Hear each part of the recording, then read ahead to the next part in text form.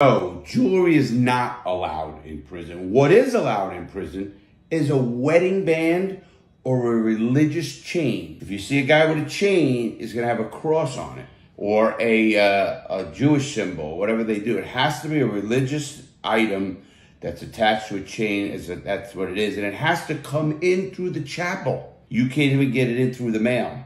It has to be sent to the chapel in the prison, and then the chapel will give it to you. So a wedding band is allowed if you were married and a religious chain of some sort. No other jewelry is allowed, diamonds is, and it states if the if the jewelry has any kind of diamond or anything in it, it will be rejected, even a wedding band. So it has to be just a gold wedding band, or it also has to be a bracelet with just a gold thing, little cross of gold, nothing else in it, and it can't have any kind of elaborate stuff in it.